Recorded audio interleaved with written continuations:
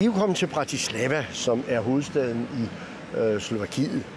Det har den været siden øh, Tjekoslovakiet blev delt i to, Tjekkiet og Slovakiet, og det var i 1. januar 1993. Det er en ny hovedstad for så vidt, men en gammel by, øh, der også tidligere har været hovedstad. Det er sådan set det spændende ved det, at da tyrkerne havde erobret den øh, hvad bliver det, den østlige del af Ungarn, der flyttede de ungarske konger hovedstaden her til Bratislava. Og, og det, den var så hovedstad i cirka 100 år. Og i de 100 år fra omkring 1560 til 1660, inden tyrkerne blev smidt ud, der øh, blev alle ungarske konger kronet her i Bratislava, henne i Kroningskirken, som vi lige er gået forbi.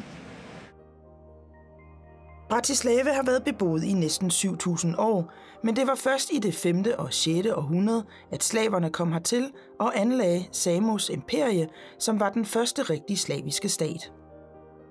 Omkring år 1000 blev Slovakiet indlemmet i det ungarske kongerige, og det var først ved slutningen af 1. verdenskrig, at landet blev selvstændigt fra det østrig-ungarske kejserige. At byen er en historisk by, er du ikke i tvivl om, når du går gennem de gamle brolagte gader, der oser af hygge.